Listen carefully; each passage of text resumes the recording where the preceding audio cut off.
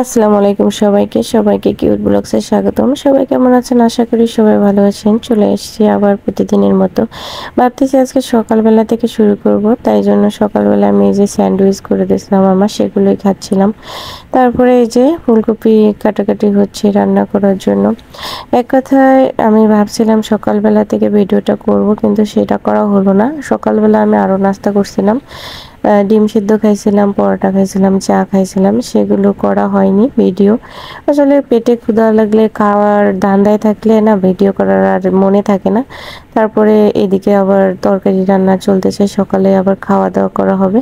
তার জন্য কাটাকুটি চলতেছে, তো সেটাই দেখাবো। আজকের ভিডিওটা কিন্তু অনেক ইন্টারেস্টিং হতে চলেছে।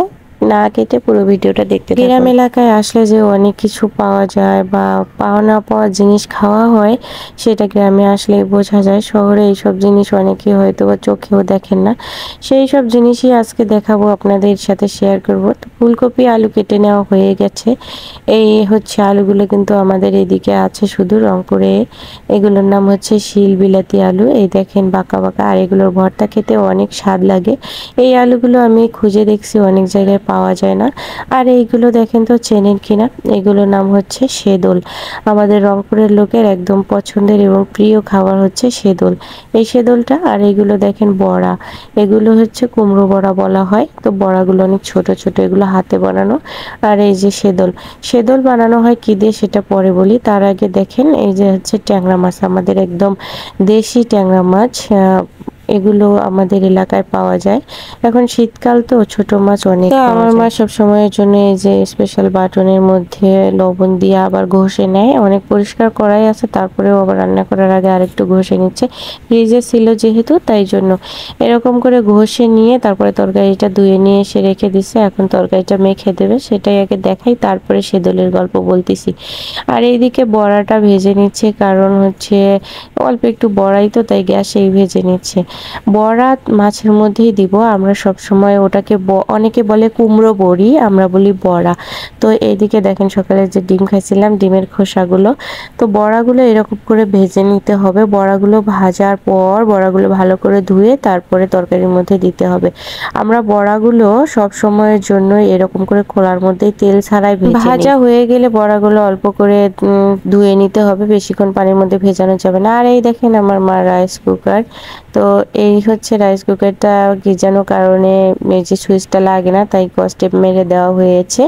এদিকে রাইস কুকারে ভাত হচ্ছে, আর এদিকে আমার মেয়ে শশা কেটে খাচ্ছে। শীতকাল তারপরেও শশাটা ভালোই লাগে খেতে, তাই ও একা একাই খেয়ে, কেটে কেটে খাচ্ছে, কেটে দেওয়ার সময় নেই। এদিকে হচ্ছে মরিচ বেটে নেওয়া হচ্ছে। আমরা কাঁচা মরিচের তরকারি খাই, সেটা যারা আমার ভিডিও দেখেন রেগুলার সবাই জানে যে আমরা কাঁচামরিচের তরকারিটা খাই, সব সময় মাংসর মধ্যে ছাড়া অন্য কোথাও খাই না।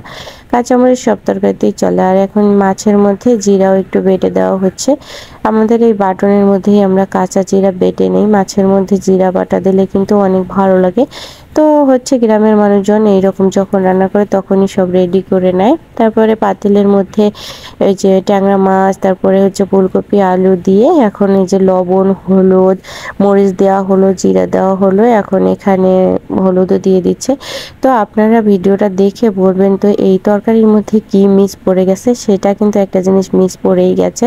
সেটা পরে দেওয়া হয়েছে। এখন এর মধ্যে তেল দিয়ে তারপরে এটাকে হাত দিয়ে ভালো করে মাখানো হবে। আমরা তরকারি হাতেই মাখিয়ে কষানোর দরকার হয় না। অনেকেই তো তেলের মধ্যে কষিয়ে রান্না করেন। আমরা সব সময়ের জন্য এরকম করে মাখিয়ে রান্না করি। তারপরে এটা মাখিয়ে পরিমাণ মতো পানি দিয়ে চুলার মধ্যে বসিয়ে দিলে এই তরকারিটা হয়ে যাবে। তো এই তো বড়াও দেওয়া হয়ে গেছে এর মধ্যে। বড়া দিয়ে তারপরে একদম বড়া যেহেতু হাতে বানানো, তো বড়াটায় সেদ্ধ হতে একটু সময় লাগে। আর বাজারের বড়া কিন্তু সেদ্ধ হতে সময় লাগে না। আমাদের হাতে বানানো বড়া একটু সেদ্ধ হতে যেহেতু মাছের মধ্যে ঝোল থাকবে তাই পানির পরিমাণটা একটু বাড়িয়ে দেওয়া হচ্ছে। আর মাটির চুলায় রান্না খড়ি চুলায় রান্না তো চুলাটা ধরানো হচ্ছে। চুলাটা ধরাতেই একটু কষ্ট। আর চুলা একবার ধরে গেলে কিন্তু আর কোনো কষ্ট নেই। খড়ি দাও দাও করে জ্বলতেই থাকে। যতক্ষণ আপনি রান্না করতে চাবেন ততক্ষণই রান্না করা যায়। কারণ একবার মাটির চুলা ধরে গেলে আর কোনো থাকে না। মাটির চুলার তাপেই অনেক কিছু রান্না করা যায়। তারপরে হচ্ছে চুলা মশলাটা ধরানো হয়ে গেলে এখন রান্না করা। আর এটা কি হচ্ছে জানেন? ওই যে বললাম, মাছের মধ্যে কি একটা মিস করে গেছে? সেটাই এটা। মাছ মাখানোর সময় পেঁয়াজ দেওয়া হয়েছিল না, পরে আবার পেঁয়াজ ভেজে দিচ্ছে বেরেস্তা করে। কারণ পেঁয়াজ না দিলে মাছের মধ্যে কি খাওয়া যায়? রান্না যখন মাখে তখন কিন্তু ভুলে গেছিল পেঁয়াজটা দেওয়ার কথা। তো এরকম করে এখন দেওয়া হচ্ছে। তো আমাদের মাছের তরকারির ফাইনাল লুক এটাই। তো খেতে কিন্তু অনেক ভালো হয়েছিল। আর এই যে সেদলটা এখন চুলার মধ্যে, ওই যে চুলার যে আঁচ আছে ওখানেই পুড়তে দেওয়া হলো। আর এই দিকে হচ্ছে কাঁচা মরিচ আর রসুনও আলাদা করে ভাজি নেওয়া হয়েছে ভর্তা করার জন্য। তারপরে সেদলটা ধোয়ানো হয়ে যায়। ছাইয়ের মধ্যে দেওয়ার পর এটাকে আবার ভালো করে ধুয়ে নিতে হবে। ভালো করে ধুয়ে নিয়ে এটাকে আবার মুড়িয়ে তারপরে চুলার মধ্যে আবার পুড়তে দেওয়া লাগবে। এটা লাউ পাতা দিলে বেশি ভালো হয়। আমাদের এলাকায় বর্তমানে কোথাও লাউ পাতা নেই। তাই কচু পাতা করেই এটাকে ভালো করে বেঁধে তারপরে চুলার মধ্যে দিতে হবে। তারপরে আরও একটু পোড়া হবে ঘিরান হবে, তারপরে এটা তুলে ভর্তা বানাতে হবে। তো দেখেন এরকম করে এটাকে বেঁধে দেওয়া হচ্ছে, আর হচ্ছে আবার চুলার মধ্যে পুড়তে দেওয়া লাগবে। আবার পুড়ে সেই রকম একটা ঘেরান বের হবে, চুলার আছে, এই যে আংড়ার আজ দেখেন কত সুন্দর। তো হচ্ছে এরকম করে এটাকে করে নিচ্ছে। পাশাপাশি আমাদের হচ্ছে আমার মেয়ে জলপাই গাছ থেকে কুড়িয়ে নিয়ে আসছিল। সেই জলপাইয়েরই একটা ব্যবস্থা করা হচ্ছে। এখানে জলপাই দেওয়ার জন্য গরম মশলা আর শুকনো মরিচ বেটে নেওয়া হচ্ছে। আর এইদিকে তেলের মধ্যে জলপাইটা পরে ছেড়ে দিয়ে তারপরে হচ্ছে মশলাগুলো দিয়ে নেবে। তো যারা আমার রেগুলার ভিডিও দেখেন তারা তো দেখেনি। অবশ্যই তারা ভিডিওটা লাইক করে দিয়ে কমেন্ট করে জানাবেন যারা নতুন আজকে আমার ভিডিওটা দেখতেছেন তারা অবশ্যই আমার চ্যানেলটা চ্যানেলটাকে সাবস্ক্রাইব করে দিবেন আর পাশে থাকা ঘন্টাটা বাজিয়ে দিবেন। কারণ পরবর্তীতে যদি আমি কোনো ভিডিও আপলোড দিই, সঙ্গে সঙ্গে যেন আপনার কাছে নোটিফিকেশন চলে যায়। আর ভিডিওটা ভালো লাগলে অবশ্যই লাইক করে দিয়ে কমেন্ট করে আপনার মূল্যবান মতামত জানাবেন। এখন এখানে চুলার কিন্তু অনেক ধোয়া হচ্ছে, কারণ চুলাটায় খড়ির দেওয়া হয়নি। আর এদিকে মশলাগুলো দিয়ে একটু লবণ দিয়ে তারপরে হচ্ছে এর মধ্যে চিনি দেওয়া হবে। চুলাটাতে আবার এই দেখেন আমাদের মারিচ চুলার চোঙ্গা। ফুকিয়ে আগুন জ্বালিয়ে দেওয়া হয়, তারপরে এখানে বাটনটা ধুয়ে ঝোল দিয়ে দিল।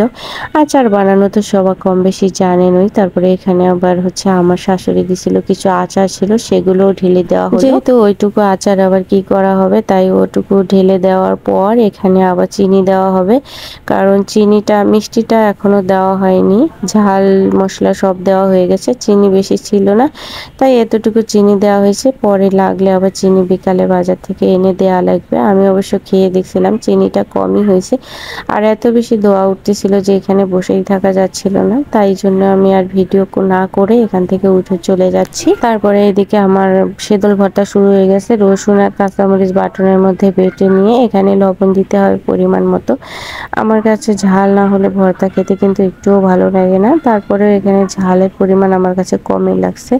আপনারা দেখতে পাচ্ছেন অনেক মরিচ আর এখন এই যে সেদলটা দেওয়া হলো সেদলটা দিয়ে আবার এখানে বাটনের মধ্যে সানি নেওয়া হবে। তারপরে স্বাদ মতো লবণ দিয়ে দিল। আপনারা চাইলে পাটায় করে আমরা ভর্তার মধ্যে সব সময়ের জন্য কাঁচা পেঁয়াজটা খাওয়ার চেষ্টা করি কারণ কাঁচা পেঁয়াজ ভর্তার মধ্যে দিলে বেশি স্বাদ লাগে। অনেকে আছে পেঁয়াজ তেলের মধ্যে ভেজে নিয়ে তারপরে ভর্তার মধ্যে দেয়। আমরা কিন্তু সব সময়ের জন্য কাঁচা পেঁয়াজটাই দিই। এখন আমার মা যে সেদলটা বেটে নিচ্ছে, তারপরে পেঁয়াজ কেটে নিচ্ছে। পেঁয়াজটা এখানে দিয়ে দিলেই হয়ে যাবে আমার রেডি সেদল ভর্তা। তো আজকের ভিডিওটা কেমন লাগল অবশ্যই কমেন্ট করে মূল্যবান মতামত দিবেন। আর এতক্ষণ সাথে থাকার জন্য অবশ্যই আপনাকে অনেক অনেক ধন্যবাদ। সবাই ভালো থাকবেন, সবার পরিবারের সবাই ভালো থাকুক, সুস্থ থাকুক, আল্লাহ